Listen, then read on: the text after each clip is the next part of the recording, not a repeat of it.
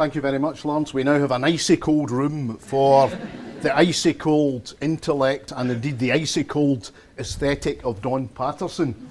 Um, clearly, it's the kind of day when people are selling things, punting things. and I think the reason that I picked up this gig is that I contributed a chapter to a book recently out, Don Paterson Contemporary Critical Essays, edited by Natalie Pollard. I think it's a very good book, apart from my own contribution. I picked up the Scottish Identity chapter, which I'm kind of sick of, of doing for various collections. Um, and I mention that because I suspect in some ways Don Paterson himself would be somewhat wary about being labelled a Scottish poet, which is of interest. Uh, Paterson is a brilliant technician, and many of the essays in here feature or um, comment on that technical ability. There's also an interview with him, which is very interesting. But uh, the question I kind of want to pose as I speak to the half dozen texts that are prescribed uh, for schools, the question I want to pose is Is Don Paterson accessible at schools level, or is he inaccessible? And I think the answer is a little bit from column A and a little bit from column B. And I'm kind of interested in the extent to which Paterson might or might not end up being taught in schools. And to take a quick poll, has anyone here taught Paterson? So there are about half a dozen hands. Anyone intending to teach Paterson? Not after you hear this, but um, uh, well, that, that's interesting. He, he, is a difficult poet, and there's nothing wrong with that. But let's think a bit about um, that kind of issue. Two of the poems that are chosen um, for schools are sonnets. Uh, they're both about childhood, about parent child relationship. And I think these do represent rather accessible texts. Waking with Russell uh, begins Whatever the difference is, it all began the day we woke up face to face like lovers, and his four day old smile dawned on him again, possessed him, till it would not fall or waver. And I pitched back, not my old hard pressed grin, but his own smile, or one I'd rediscovered. Now, the first line there is um, takes us into conventional sonnet territory. It is in iambic pentameter short, long, short, long. And most of the lines in Waking with Russell are five stress lines, but they're not really conventional sonnet iambic pentameter. So you've got something that clearly looks like a sonnet, it's got 14 lines, it is a sonnet, but the expectations we might have of a Spenserian or a Shakespearean sonnet or whatever are not fulfilled after the first line. And also, the rhyme scheme is less complex than most sonnets. Um, we've mostly got A, B, A, B, or A, B, half A, half B. There is a deliberate um, simplification of the rhyme. And the reason that I'm banging on about form is I think what is being set up here, and this is important to, to realise with Paterson, is that he sets up the notion of the conventional sonnet or the known, and then that doesn't quite work because thematically he's going into the unknown, which is to say his new experience, the narrator, or indeed the poet's new experience of parenthood. That's kind of how it works. And the other thing I want to point out about the irregularity formally is that instead of an octave and a sestet, our first complete syntactical unit that I've just read to you is six lines. So it's upside down. We've got a sestet coming first, in a sense. So just to point out that Paterson is messing around with form. And one of the things that he's also doing, which is not typical to all that many sonnets, I need to be careful thinking about this, is the run on line also disrupts what we would normally think about in terms of sonnets. And one final thing, I won't get too boring about this, I'm going to pull back from all this formal stuff to some extent, but something else I'd want to point out is that we've got a rather promiscuous mix of feminine and masculine rhymes. Uh, remember, uh, basically, masculine rhyme is usually a rhyme on a final stressed syllable. Feminine rhyme falls, roughly speaking, on the second last syllable. The sonnet, in a sense, breaks down in the face of the unconventional, the unscripted experience of parenthood. I think that's how it works uh, formally. Now, with a good senior class, as with an undergraduate class at university, a good way into this sonnet, something I've done in the past, is to take Waking with Russell and put it alongside Tom Leonard's A Summer's Day, which is a 13 line poem, not really a sonnet, but of course it riffs on, it references Shakespeare's great sonnets. Um, my love is like a, a shall, sorry, shall I compare thee to a summer day? That's the one. A bit of Burns almost crept in there. Um, so the Tom Leonard piece and the Paterson piece are both not quite sonnets. And um, my experience with undergraduates is instead of doing the boring thing and showing them a perfectly formed sonnet, they rather like to see the broken down, if I can call it that, sonnet of Paterson and Leonard. And it's a better way of working to what the rules of the sonnet might actually be. And I think you can do this also um, with schools. Now, this accessibility question with Paterson relates not also to his poetry, but to his work as an editor. I'm going to say a bit more about Waking with Russell in a moment, but um, I would like to draw attention to a book that some of you may know, a very good anthology that Paterson produces, 101 Sonnets. One of the things that interests me here is that there are 12 or 12 and a half sonnets by Scots. If this was an English poet, You'd be lucky if you get two or three sonnets by Scots, I suspect. But you can put his own sonnet practice somewhat in context, at least for yourselves as teachers, I would suggest, by drawing on 101 sonnets. Now, his work as an editor also extends to that traditional rite of passage that most contemporary Scottish writers undertake. Uh, Andrew Hagen has done it, Robert Crawford has done it, Ian Rankin has done it, produce a selection of Robert Burns. It's the must do thing for contemporary Scottish poets. And Don Paterson's selection of Burns is interesting in a number of ways. He more or less presents Burns as though he's a new poet. He viciously edits Burns down to a fairly small number of poems and songs. And the thing that outraged Burnsians at the time when this appeared a few years back was it's got about six or eight blank pages at the end. And the Burnsians all said, You could read more Burns in there. What's he doing? Now, what Don Paterson, I think, is deliberately doing is saying, How might Burns look if he was packaged, presented as a poet on the contemporary scene? And if you are thinking about Paterson, um, and especially if you might be one of those brave souls teaching perhaps Paterson and Burns, I would suggest an interesting tie up is to have a look at that book and you can do things uh, with, with, with that too. Anyway, Waking with Russell and The Thread, which I'll come to in a moment, are technically deviant sonnets, but they tell you a lot about sonnet form itself. Waking with Russell is actually from Paterson's collection Landing Light 2003, and the title is a pun on the landing light put in place in the author's house for his baby twins, as well as betokening the new tenderness that his baby sons awaken in him. It's also a typical Paterson joke about treating poetic form lightly. Although this is double edged, Paterson kind of implicitly and explicitly claims that he has a light touch with form.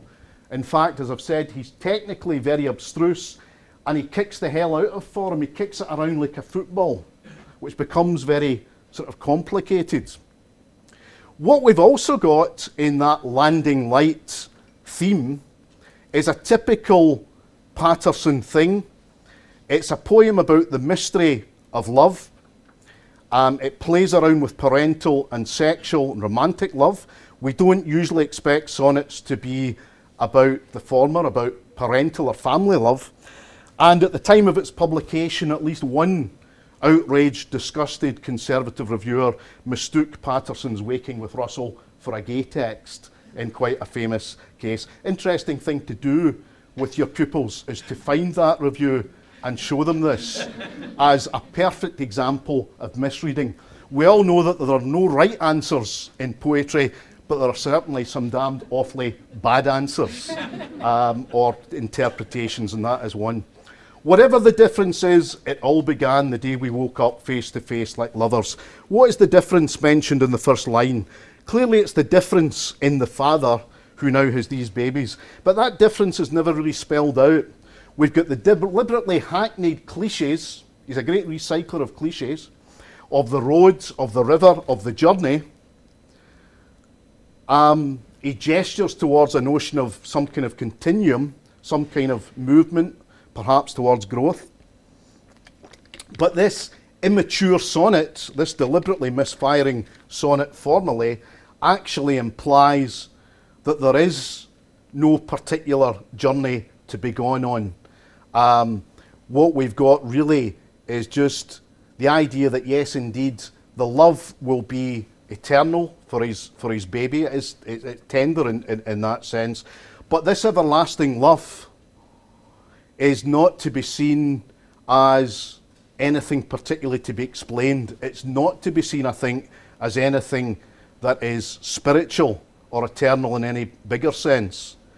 Like a lot of, of modern poets, Paterson is a celebrator of the quotidian, the ordinary. He riffs on, he hits against the idea that's so apparent from post romantic lyricism onwards that the job of the poet is to give big, transcendent, eternal ideas. This is one of the challenges of Paterson. Paterson is saying, I'm not giving you access to higher knowledge, I'm giving you the mundane, and that makes him quite difficult. Um, the thread is also about Paterson's baby twins, also from Landing Light. And um, to begin with, it's a bit more conventional. We've got a Petrarchan octave. It's a bit more conventional to begin with. Uh, we've got five stress lines in the ABBA, ABBA rhyme scheme. And this represents a kind of order after the events of the text have taken place, because as the thread of some of you will know, um, is about the fact that his baby son Jamie, the twin of Russell, only narrowly survives birth. And again, the thread mimics the form of many romantic sonnets. It's a love poem, but more widely about love, about the family. Jamie made his landing in the world so hard he ploughed straight back into the earth. Reminds me a bit of the line from Waiting for Godot, the bleakest line, I think, in, in Western literature, which talks about giving birth astride a grave, expressing the futility of life. Uh, I must admit to finding the Paterson voice often a bit sour. I've been a huge admirer of his technical panache for over 20 years, but I've never grown to like what I take is his predominant narrative voice. If I'm honest, I find it a bit too knowing too sour. In the thread, though, which refers to a thread of breath, which seemingly keeps the spark of life in the baby as it's born, there is something literally lusty, something joyous. And again, a comparative thing you could do. Robert this morning mentioned a poet's welcome to his love begotten daughter, the Burns poem, poem about child, an interesting thing to, to pair that poem by Burns and the Paterson poem. Um, so, in the thread, the baby is born, um, it survives, and the narrator or the poet thinks back on events. And so today, I thank what higher will brought us to here, to you and me and Russ, the great twin engine swaying wingspan of us roaring down the back of Kirrie Hill. We've got a poem that's childlike in its perspective. The father and twins mimic an aeroplane as they career down the hill, fairly obviously. The noise of the family, their vibrancy, stands in defiance of the near death experience of Jamie. But the higher will that's mentioned there, I think, is not necessarily some kind of deity, but is simply the sheer life urge, the will to live of Jamie. So again, we've got a text that looks conventional, that looks as though it's appealing to a deity, but in fact, it's not really, I think, a religious text at all. I don't think it could be read as a religious text, but maybe that's an open question. The idea of a slender thread as opposed to a great thread of life, again, is part of the minimalism of Paterson, which I think signals ultimately what is Paterson's existentialist outlook. I think if you were to pin him down philosophically, there's a kind of existentialism. Uh, human life is alone in an uncaring universe, and there are no grand narratives to explain it in any sense. Now the thread is holding all of us. Look at our tiny house, son, the white dot of your mother waving. The poem celebrates life, family, even as the poet, I think, refuses to assign to it any higher purpose. And I wonder if, like me, some of you may hear an echo there, perhaps, of another poem, and that might be Edwin Muir's Childhood, which is a good poem to throw into the mix. Paterson in recent years has taught Scottish literature courses at St Andrews, and I suspect this may actually um, have come to some extent from that experience of, well, certainly of reading, of reading Muir. These sonnets are Paterson at his most accessible. Reasonably accessible also is 1100's Baldovan, said the West of Scotland man pronouncing or possibly mispronouncing the Angus town. Um, this is from Paterson's 1998 collection, God's Gift to Women, and again it's about childhood. The extended metaphor or conceit in 1100 Baldovan is that of the expedition, a big expedition, even though it's two young boys going on a local trip unaccompanied. We've got the nice touch in the poem of the bus stop as a steel flag at base camp as the boys wait for the bus. The poem is about the strangeness of what to grown ups are fairly straightforward routine procedures. And the strangeness is heightened for the present day classroom due to the pre decimalisation nature of the currency. So the boy is thinking about what he's going to do with his money. I'm weighing up spending power, the shillings, tanners, black pennies, florins with bald kings, the cold blazonry of the half crown, threepenny bits like thick cogs, making them chank together in my pockets. I plan to buy comics, sweeties, and magic tricks. The florin, colloquially, um, is the old two bob bit. We have throughout the poem a kind of trick where perspective is minute, it's close up one minute, the coins in the pocket, and larger the next. It mimics the excitement. The perspective is all over the place. Um, and we then shift perspective to his plans, his plans to buy comics, sweeties, and magic tricks. Put all this together, including the, the, the bus stop as steel flag, and what we've got is an eye that is all over the place, a perspective that is all over the place. Um, and our narrator is worried about where he and his friend will end up on this wee trip through Angus. He hopes they will, quote, enter the land at the point we left off. They're fearful, almost in science fiction sense, that they won't be able to arrive back at the place from which they've come. And of course, it's a poem about childhood vulnerability.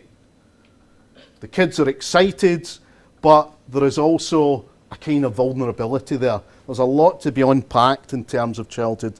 But the poem takes a sudden turn um, toward the end.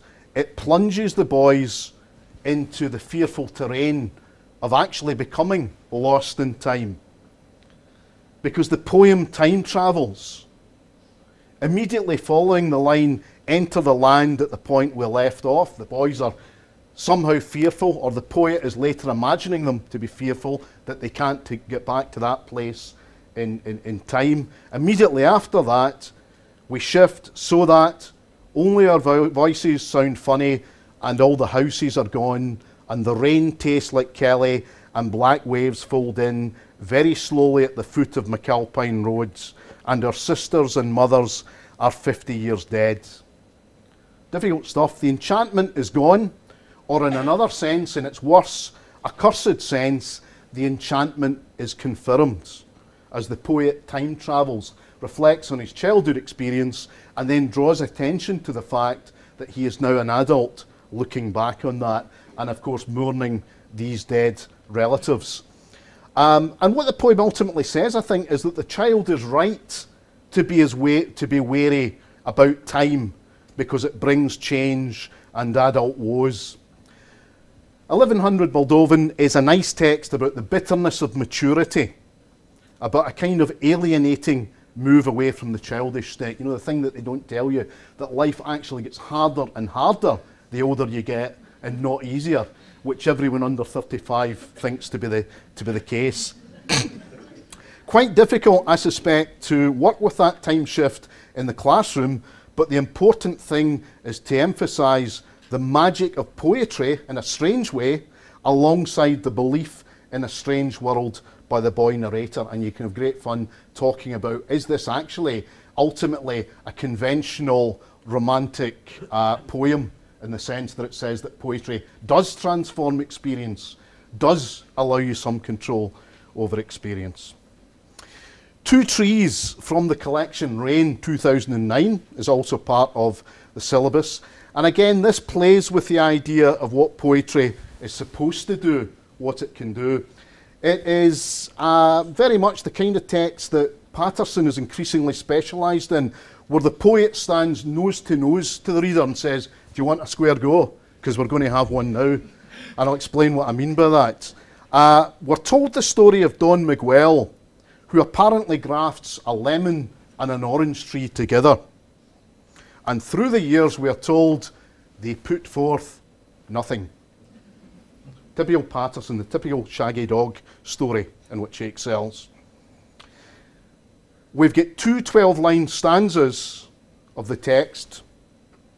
We're told the story and, um, of Don Miguel establishing this grafted tree, and then um, we are given the kind of payoff um, where another man buys Don Miguel's house who had no dream, so who can say what dark malicious whim led him to take his axe and split the bowl along its fused seam, then dig two holes and know they did not die from solitude, nor did the branches bear a sterile fruit, nor did their unhealed flanks weep every spring, for those four yards that lost them everything, as each strained on its shackled root to face the other's empty, intricate embrace.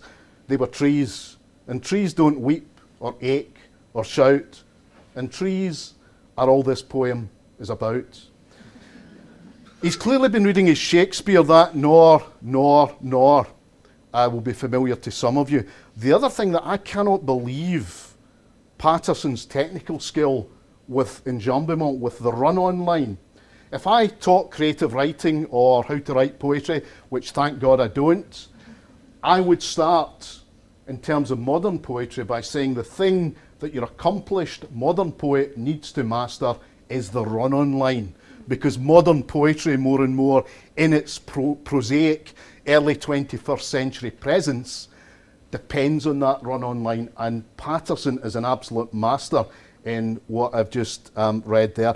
And the way in which he handles the stress, every line is for stress, but every line is a bit irregular, and yet the narrative flow maintains.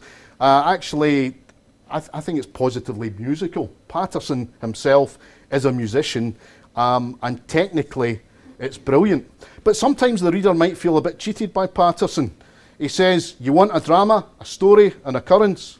Well, I'm not giving you one. And there is again a clever trick going on, though. The intelligent reader must come to the conclusion that the last line, in a sense, is a lie. Trees are not all this poem is about. At the very least, the poem is about what we expect from a story or a poem. And that even extends to the suggestion that it's ultimately not about trees at all, but about human emotion. You can argue that this is a poem about human emotion. And that's the kind of thing you would need to tease out, I would suggest, in the classroom. Many modern poets gesture towards a kind of flat Zen realism, a kind of poised spiritual atmosphere surrounding the materialist reality of the world. Um, you know, here's the physical, material reality, and that's all you've got. It looks as though he's doing that. But this poem, I think, is no Buddhist meditation. It's not saying, look at the tree and enjoy it for what it is. I think there's something different. The poem strips away anthropomorphic elements, pathetic fallacy, But ultimately, it draws attention to these things that it's stripping away rather than the tree. That is the philosophical trick that's going on in the poem, and which makes me think it better be a damned able senior class that you're working with to try and um, to, to do this with them. Um, what we've got in the end um, is a poem not just about a hybrid gardening experiment, but a poem that's about human emotional investment and involvement. Right? Whereas I say, standing toe to toe with the reader, we bring expectations, and Paterson is going to smash us in the nose. Right? That's sometimes sometimes the way the way writers work, and we probably all know that. We are different from the trees. I wish I hadn't written that line. We are different from the trees. And the question remains open at the end are we superior or inferior to the trees in having emotions, in being sentient creatures like the fairies? And the, sorry, I'm taking that too far. But the notion is about the sentient and the non sentient. It's a poem about perception, it's about expectation in terms of story, story um, in terms of poetry. Now, in a sense, it gets worse in terms of um, Paterson's accessibility. Paterson's first collection, Nil Nil 1993, gives us the Ferryman's Arms and the eponymous Nil Nil. In the Ferryman's Arms, the narrator is waiting for a ferry, ferry even, waiting for a ferry, and that serves me right for earlier attacking the, the, the anti-gay critic. Um, he's waiting for a ferry, and there's a pub, and he's the only guy in the pub, and he decides he'll have a pint of Guinness and he'll play himself at pool. And he does that out of boredom, but typically with Paterson, time, alongside this mundane reality, um, where he's playing the game for the hell of it, what we've got also is the high cultural resonance. Charon taking the dead across the river to Hades or hell. It's not so much a conceit as a deliberately glib subtext. This idea of the futility of playing a game of pool, of writing a poem in the face of the meaninglessness of the universe, the certainty of death, um, these things amount to the best that the human being can achieve in life. A nil-nil draw. He is a, nil- a nihilist or a... No, I'm going to retreat from that one. You simply won't win, but even the draw is something worth having to be optimistic, perhaps. Couched in a rich vernacular argot, this is damned hard stuff. The narrator leaves his game behind and gets on the ferry. The boat chugged up to the little stone jetty without breaking the skin of the water, stretching as black as my stout from somewhere unspeakable to here, where the foaming lip mussitates endlessly, trying with a nutter's persistence to read and reread the shoreline.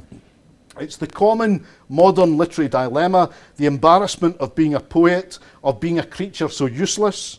There is no message for the poet to impart.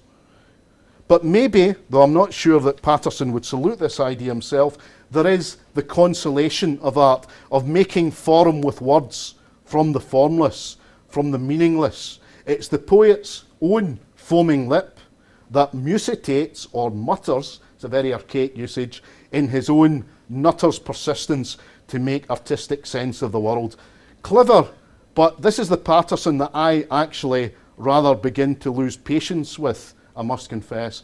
Um, um, a Paterson trick, uh, which is a sort of typical bit of, of, of, Paterson gamesmanship, is that the title poem, Nil Nil, doesn't open the collection of 1993, but closes it. I remember reading this in 1993 and thinking, this guy's the best living poet in Scotland, and I probably still believe that. I mean, he's te technically astonishing. He also writes about football, which of course is God's own game. Um, and in Nil Nil, we see the collapse of an old football club to the extent that its playing field becomes more notable for boys' fixtures. We view the grimy details of the half-time Satsumas, the dog on the pitch, then the boys' club sponsored by Skelly Assurance, then Skelly Dry Cleaners, then nobody. Stud harrowed pitches with one in five inclines, grim fathers and perverts with old English sheepdogs, lining the touch, moaning softly. Now, there is a kind of nice humour here of the perverts masturbating under the sheepskin coat, lining the touch. Try getting away with this and explaining to your, to your parents what you're, you're doing with your class. Um, there is a, a poetic finesse collided with a very grim situation, typical Paterson terrain. High poetic humour from the ridiculous in the seedy. Nil nil actually undercuts its initial proposition because its initial proposition, in a sense, is documentary realism. It's uh, black and white. It's uh, Scottish football from the 1910s to the 1960s. It's the Tanner Ball player. Um, it's the it's the huge um, the huge crowds um, dwindling. It's you know in the background are clubs like Third Lanark going out of existence, etc. Um, and we get the slide into obscurity. But there are so many club names pile up that what we end up with is a kind of Scottish national shibboleth. It isn't a particular story.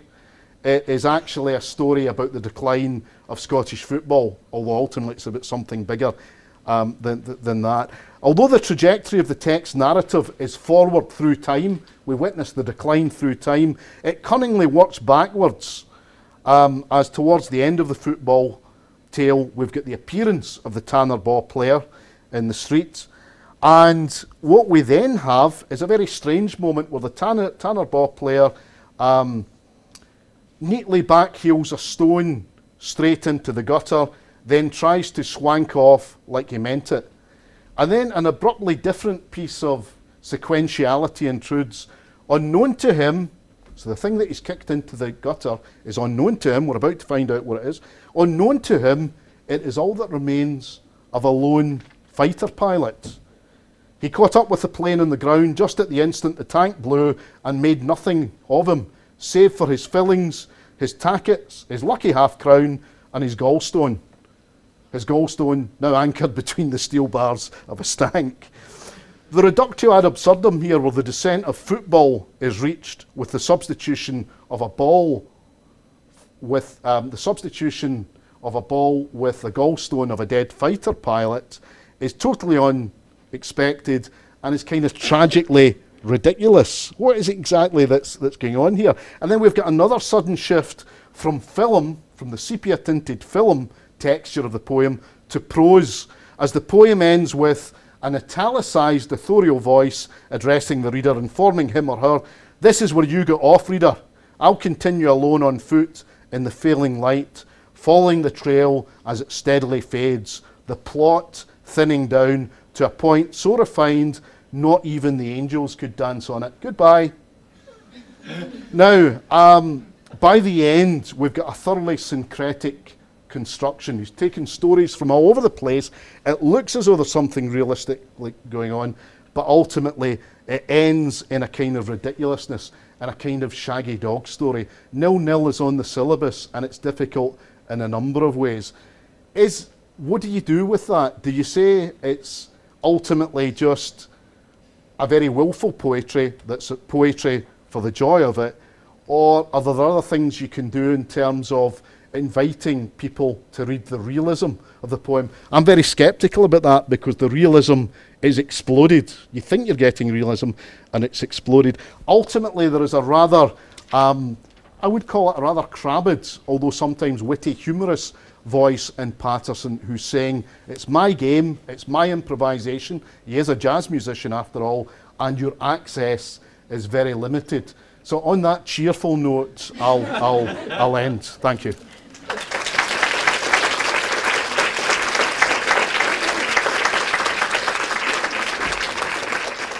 thanks very much, Jay. I particularly like the line about being fretful pal. I also remember that from watching my son play football on Saturday morning. Slightly uncomfortable. Um, I think we're all challenged, to say the least. I am. And yeah, as you said, um, I think we've time for a few questions if anyone has something to just now. Or indeed enlightenment for me. Tell me the key to reading Paterson. about. I think we've greatly, greatly appreciative of it. I think these are more directed at college people and things, and that's maybe what they're trying to do is by including that, because I think Yeah. we've got not a bad class, and I would just leave them. You may be right. I'll tell you in all honesty, my honours students, many of them would struggle with some of these poems. So absolutely. If you're older and you've got more experience to bring to it, you Mhm. can- hmm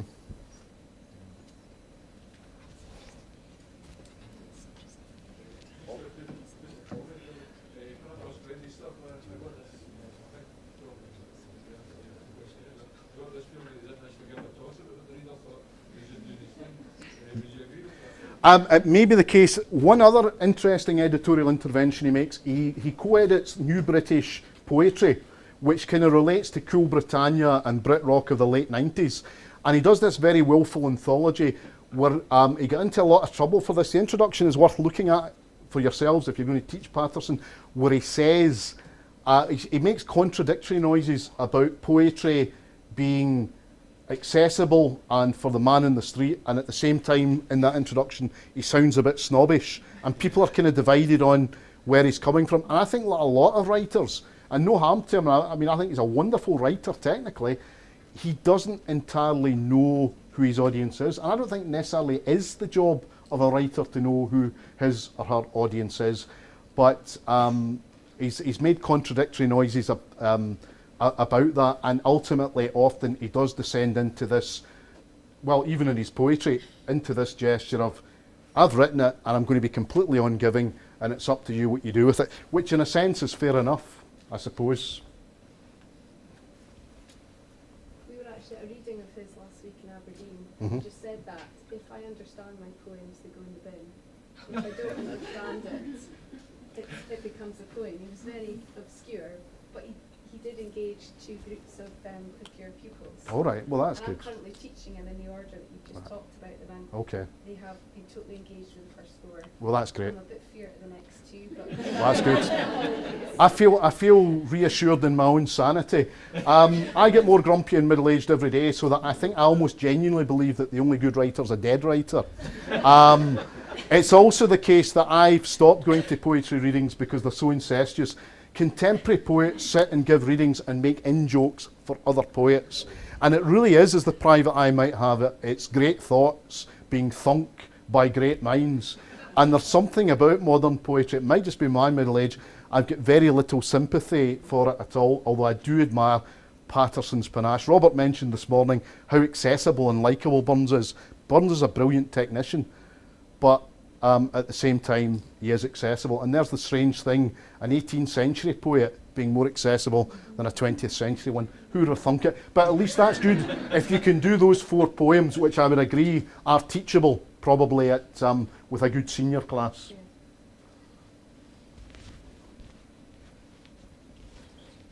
There's, Given that that's the case, then Mhm. how's it going to be marked?